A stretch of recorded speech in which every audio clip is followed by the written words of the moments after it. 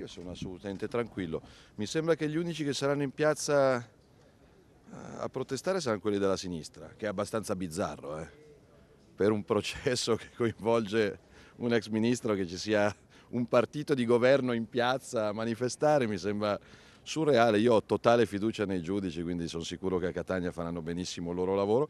Ne stiamo approfittando per fare tre giorni di dibattiti che sono cominciati stamattina sul futuro dell'Italia. Sembrava Sulla scuola, sull'università, sulla giustizia, sul lavoro, sull'agricoltura, sul turismo. Quindi Catania è una splendida città, la riempiamo di idee. Poi io spero di non andare avanti per mesi con un processo che secondo me è assolutamente infondato.